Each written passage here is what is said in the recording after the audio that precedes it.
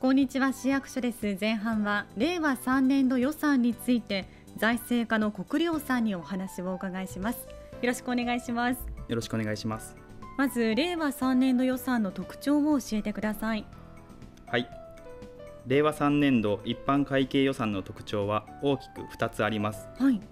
1つ目の特徴として今年2月に市長選挙が行われたことから骨格となる当初予算に加え6月に補正予算を編成し政策的経費や新規事業に関する予算を追加しています。はい。2つ目の特徴は新型コロナウイルス感染症への対策です。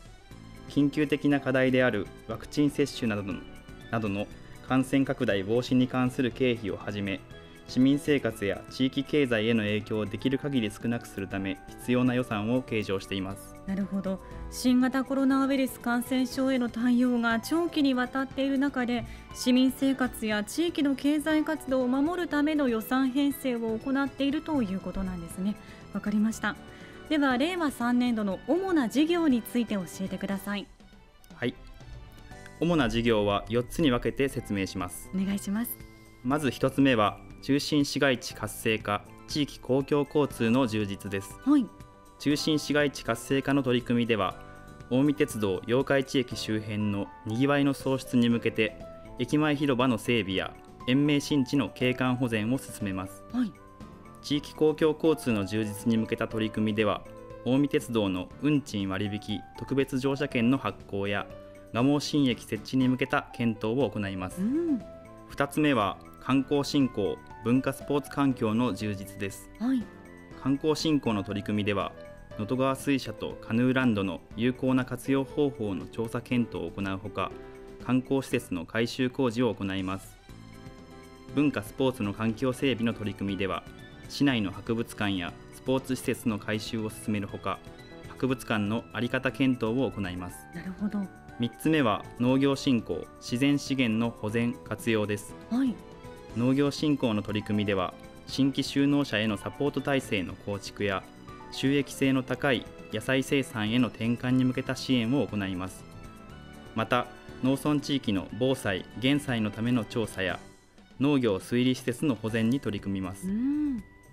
自然資源の保全活用の取り組みでは自然体験環境学習施設として仮称布引きの森の整備を進めるほか里山保育の推進に取り組みます。はい。4つ目は子育て教育環境の充実です。はい。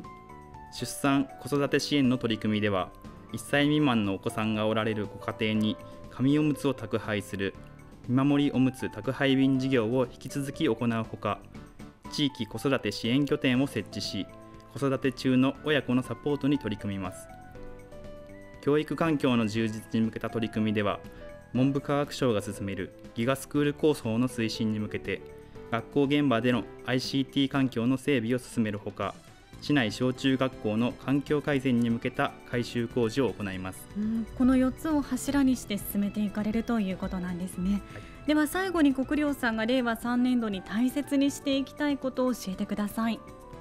新型コロナウイルス感染症の影響によって市民の皆さんの暮らしに多くの変化が生まれています。目の前にあるさまざまな問題の解決に取り組むことは最優先の課題ですがそれだけではなく10年先20年先を見据えて東近江市の魅力や価値を高めていくことも大切にして予算の編成や執行に取り組んでいきたいと思っています。前半は財政課の国領さんに令和3年度予算についてお話をお伺いしました。ありがとうございました。ありがとうございました。